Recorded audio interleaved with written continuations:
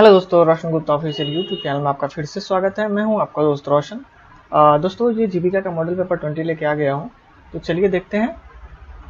दोस्तों, वीडियो अभी तक लाइक नहीं किए तो लाइक ज़रूर कर दीजिएगा और चैनल को अभी तक सब्सक्राइब नहीं किए हैं तो सब्सक्राइब ज़रूर कर दीजिएगा। तो चलिए पहला क्वेश्चन देख लेते हैं। पहला क्वेश्चन है पावर पॉइंट में सभी स्लाइड में जो है फ्रंट को रिप्लेस करने के लिए किस ऑप्शन का यूज़ किया जाता है?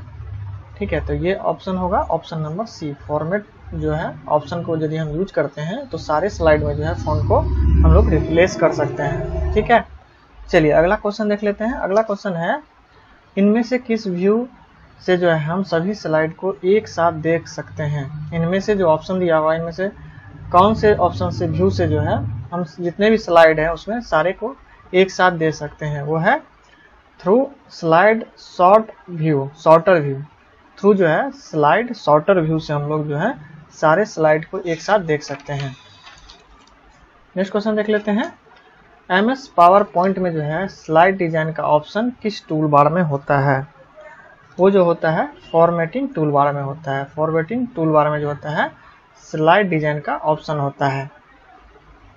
नेक्स्ट क्वेश्चन देखते हैं। विंडोज़ ऑपरेटिंग सिस्टम में जो है, टेक्स्ट या इमेज कॉपी करने के लिए जो है कौन सा शॉर्टकट की का यूज़ किया जाता है? कॉपी करने के लिए जो यूज़ होता है कंट्रोल सी का यूज़ किया जाता है। कंट्रोल सी मतलब ये कॉपी करने के लिए किया जाता है। कंट्रोल एक्स जो है, ये कट करने के लिए किया जाता है।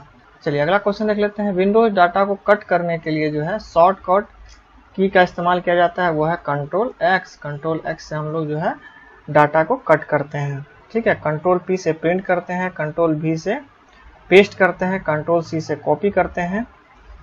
अगला क्वेश्चन देख लेते हैं। एस एच जी के क्लस्टर फेडरेशन का गठन कब किया जाता है?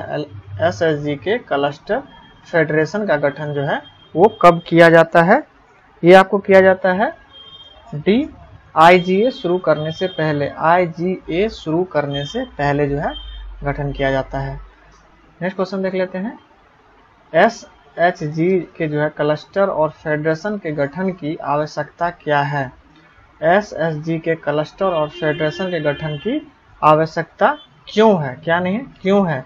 तो वो है आपको ऑप्शन नंबर आपका डी दिया हुआ है सभी। जितना भी ये तीन ऑप्शन है, तीनों ये ज़रूरी है। एस एस जी के विकास के लिए ज़रूरी है। दीर्घकालिक विकास के लिए स्थानीय क्षेत्रों, क्षेत्र के जो है मुद्दों को संबोधित करने के लिए जो है ये ज़रूरी है। अगला क्वेश्चन देखते हैं।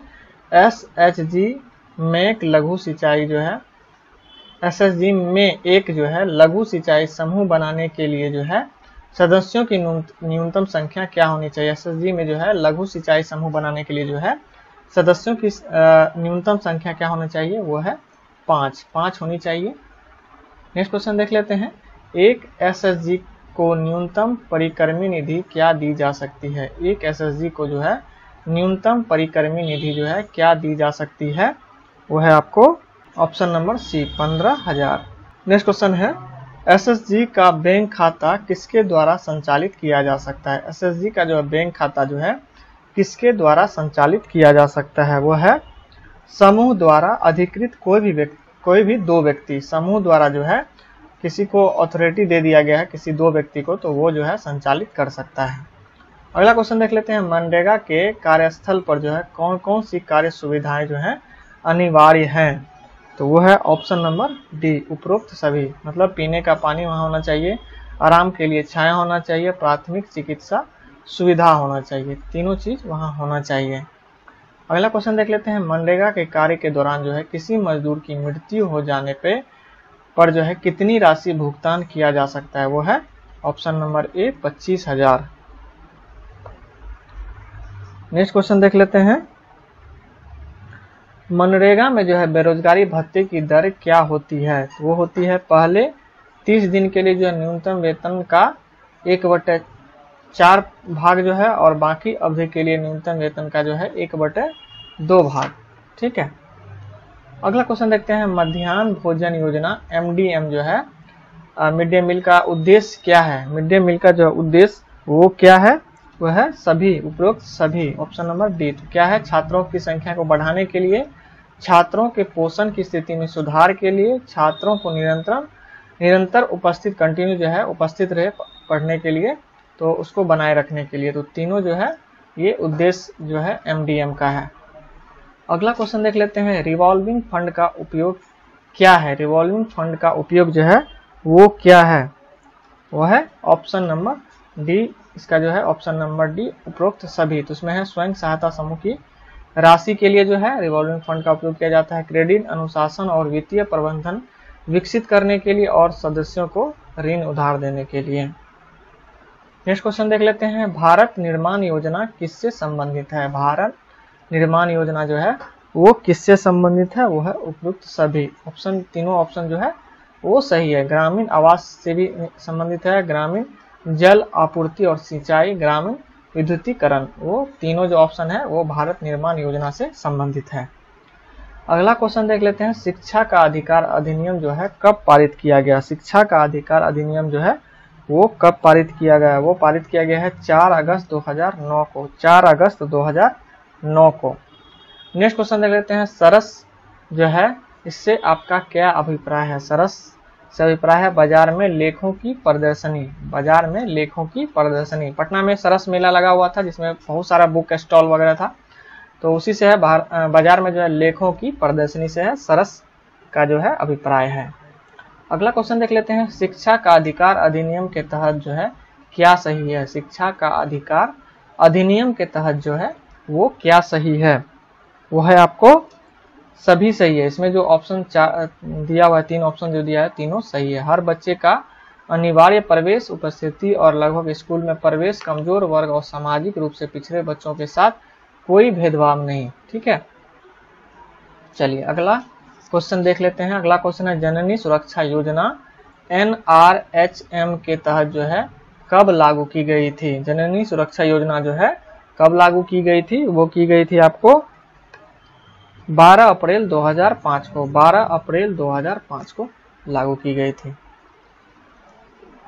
अगला क्वेश्चन है, मनरेगा में अकुशल मजदूरों के लिए जो जारी ई मास्टर रोल में मजदूरों के समूह के प्रत्येक मजदूर को भुगतान देने के लिए क्या ध्यान रखता है?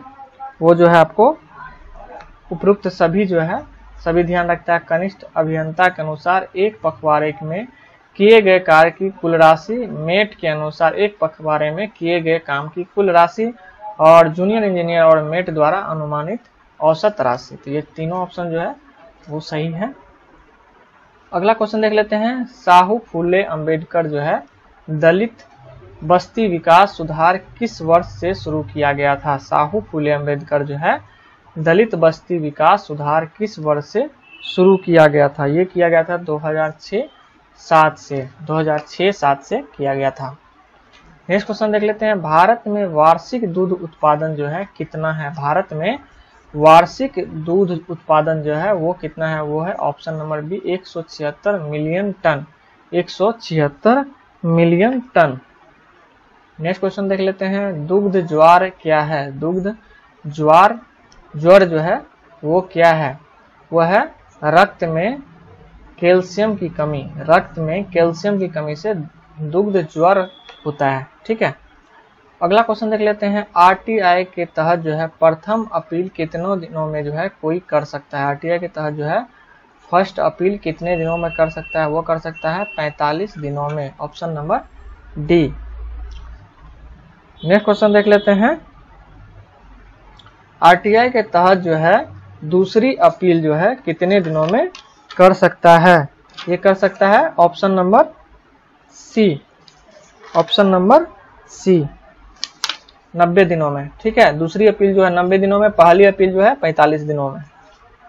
अगला क्वेश्चन देख लेते हैं। पंचायत समिति का मुख्य कार्य कार्य अधिकारी कौन है? पंचायत समिति का जो है, मुख्य कार्यकारी अधिकारी जो है, वो कौन है? वो है आपको बीडीओ बीडीओ पीएमजीएसवाई योजना में किस प्रकार का काम किया जाता है? पीएमजीएसवाई योजना में जो है, किस प्रकार का काम किया जाता है?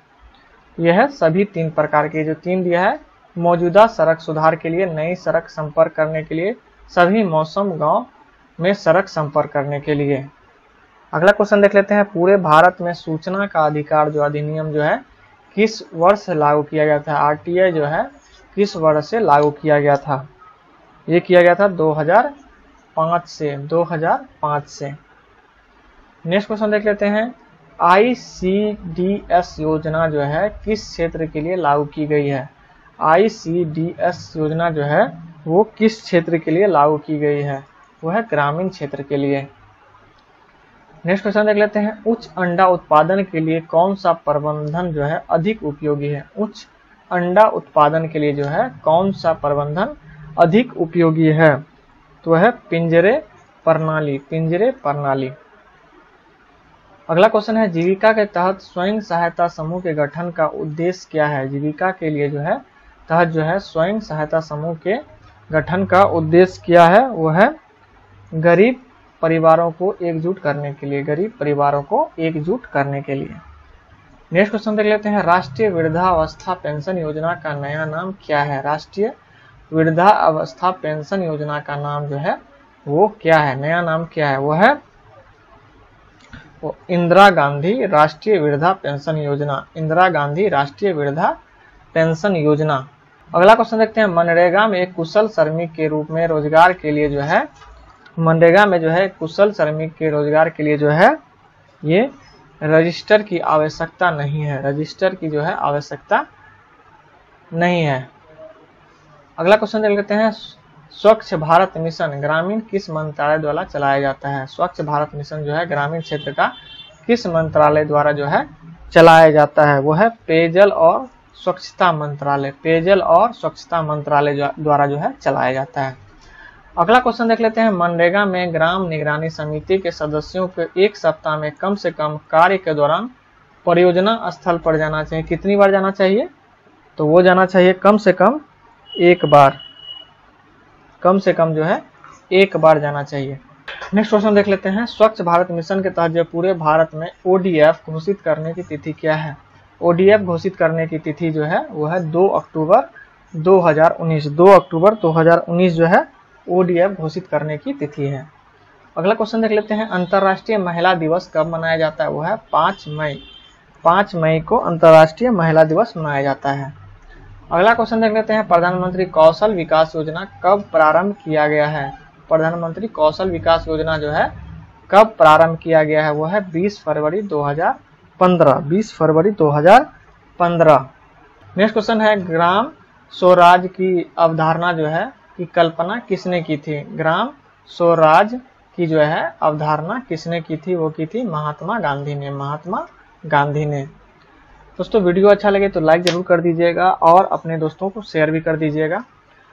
और अभी तक पूरा देखने के लिए वीडियो, आप लोगों का बहुत बहुत धन्यवाद। मिलते हैं नेक्स्ट वीडियो में। Take care bye bye